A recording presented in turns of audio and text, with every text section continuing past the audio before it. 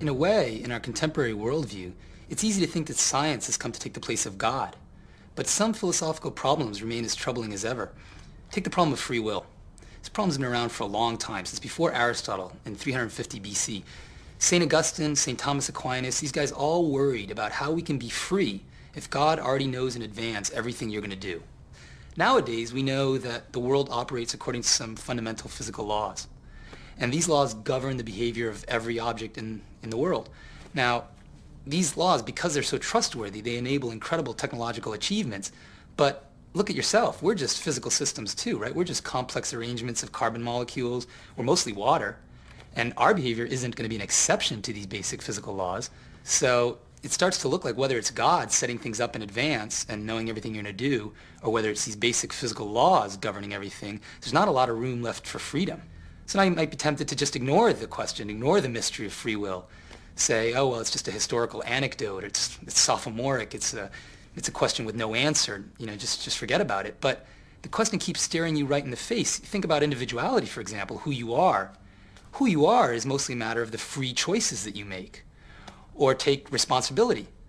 You can only be held responsible, you can only be found guilty, or you can only be admired or respected for things you did of your own free will. So the question keeps coming back and we don't really have a solution to it. It starts to look like all your decisions are really just a charade. Think about how it happens. There's some electrical activity in your brain. Your neurons fire. They send a signal down into your nervous system. It passes along down into your muscle fibers. They twitch. You might say reach out your arm.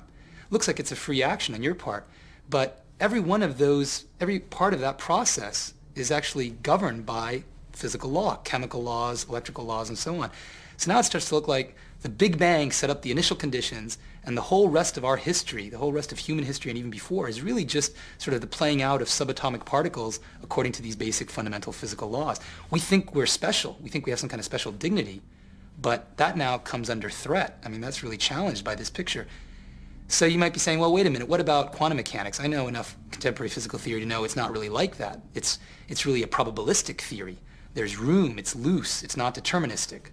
And that's going to enable us to understand free will. But if you look at the details, it's not really going to help because what happens is you have some very small quantum particles and their behavior is apparently a bit random. They sort of swerve.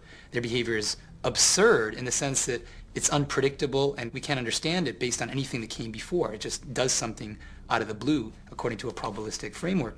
But is that going to help with freedom? I mean, should our freedom just be a matter of probabilities, just some random swerving in a chaotic system?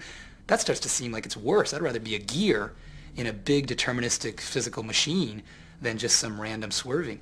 So we can't just ignore the problem. We have to find room in our contemporary worldview for persons with all that that entails, not just bodies, but persons.